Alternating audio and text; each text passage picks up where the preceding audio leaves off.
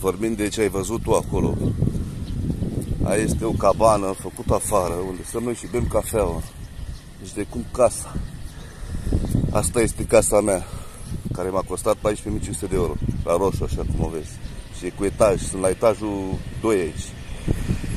Iar legat de periferia Bucureștiului, cum vorbiți voi, aici e Asia, nu e București, frate. Și sunt case destul de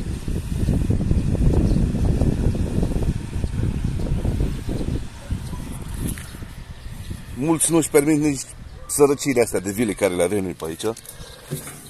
Nu vreau să vă dau cu hei, dar am zis și eu că... Vedeți? Aici am holul, aici am o cameră. Da? Și aici dorm eu, director. Director șef sunt.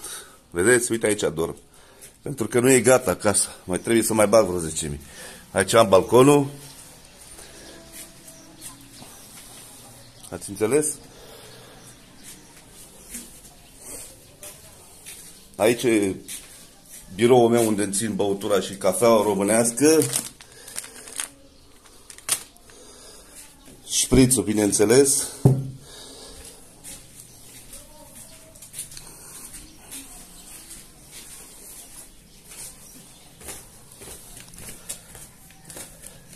Aici am orezul producția mea de orez, 2 tone, 3 tone. Aici am bucătărie, baie în spate pe aici, dar nu vă mai arăt că e dezastru, e șantier. Aici al hol și ieșim afară. M-ați înțeles?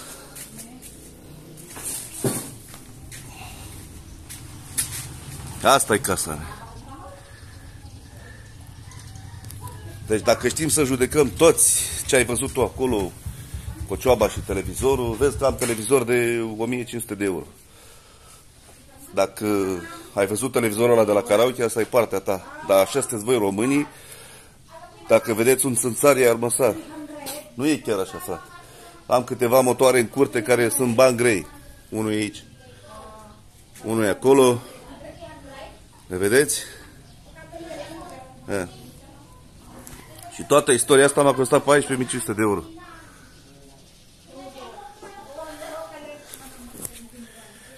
În legătură cu YouTube-ul, dacă vă abonați acolo, încă nu am postat. Eu abia am aterizat aici și încă sunt sub uh, influența somnului, pentru că e greu cu somnul.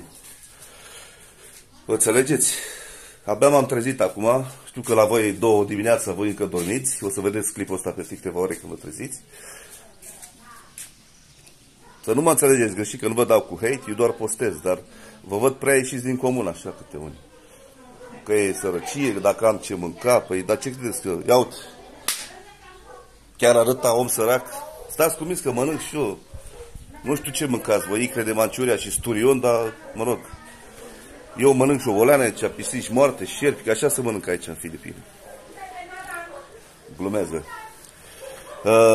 o să mă apuc să postez și pe YouTube, mai că trebuie să mă apuc acum și de plantațiile mele, să vedeți și voi cultura noastră de aici, cum se lucrează în orez, cum se trăiește, cum e foarte greu.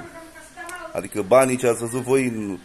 acolo au venit foarte greu, să știți. Am muncit aici câțiva ani de zile ca să ridic cocioaba asta, cum o, cum o numesc unii, dar problema e că nu știu dacă toți își permit o cocioabă, da? Mă înțelegeți? Și mi-am mai cumpărat încă două terenuri. Le-ați văzut, le-am pus acolo. E, acolo unde v-ați văzut făcând karaoke la telefon, acolo e o cabană făcută de noi, din bambus de familia noastră. Iar dacă puteți să vă abonați acolo, încercați să nu jigniți, că vă scot afară pe câte unul. Pe toți. Adică nu-mi plac jignile. Că sunt negri, că sunt... Asta e. Ce vă inferentari pe acolo când stați între țigani cum Țigani, negri, verzi, indieni, cocalari, ce sunt, sunt ăsta, ăștia sunt oameni, frate. Să știți că sunt primitori, nu sunt răi. Nu trebuie să judeci omul după culoare. Așa că eu vă pup, și vă doresc tot bine din lume, să vă dea Dumnezeu și vouă măcar o garsonieră, confort 3, dacă nu o viluță de asta.